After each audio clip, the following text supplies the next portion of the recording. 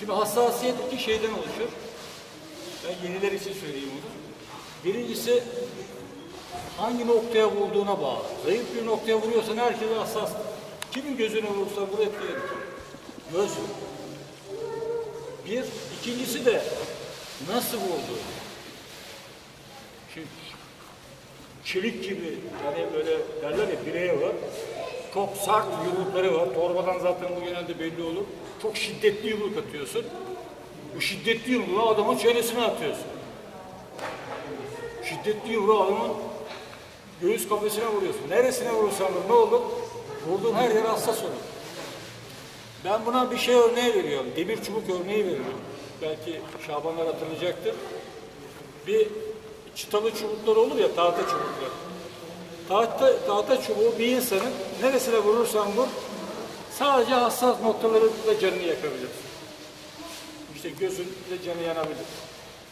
Ama güçlü bölgelere vurdun mu tahta çubuk kırılır, bir şey olmaz. Ama demir çubuğu neresine vurursan vur. Her yer hassas olur. Yani şeye de bağlı bu. Neyle vurduğun. Ne kadar güçlü vuruyorsun? Demir gibi mi vuruyorsun? Yoksa tahta gibi mi vuruyorsun? Biraz da bununla alakalı. Bu da neyle alakalı? Torbaya çalışmakla. Torbaya ne kadar temaslı çalışırsanız o kadar etkili yumruk atarsanız. Temaslı çalışma yapın. Yani bir e, eldiveniniz olsun. Çünkü sert e, temas da iyi bir şey değil. Kemikleri zorlamayacak. Kasları zorlayacak. Şimdi duvara vur.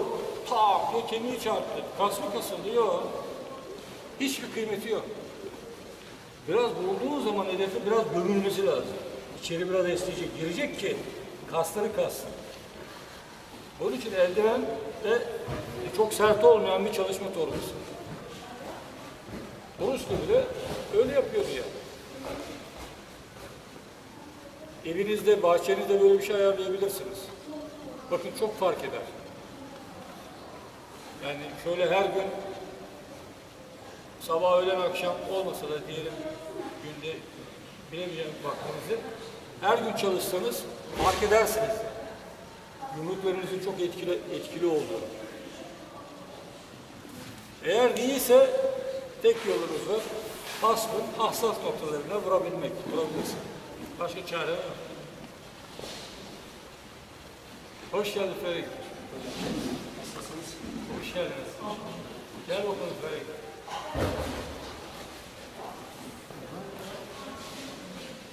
Bizim şampiyonumuz. Dünya şampiyonumuz. Hoş görüyorum. Müsaadenizle bir kucaklamak istiyorum.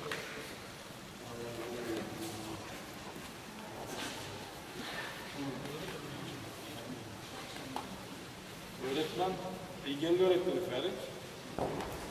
Aynı zamanda.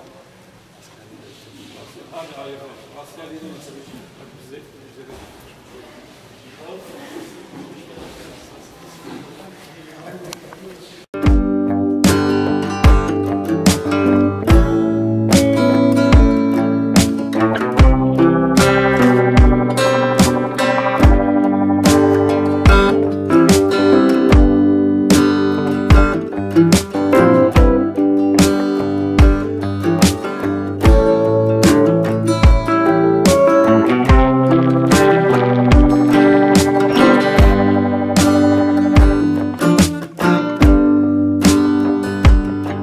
Sivilcelerinizi patlatmalı mısınız?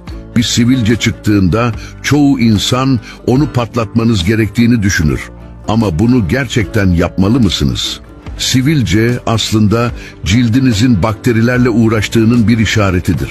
İçinde yağ, ölü deri ve en önemlisi beyaz kan hücrelerinden oluşan bir sıvı vardır. Bu beyaz kan hücreleri aslında enfeksiyonla savaşır ve cildinizi iyileştirmek için çalışır. Ancak bir sivilceyi patlattığınızda bu iyileşme sürecini bozarsınız.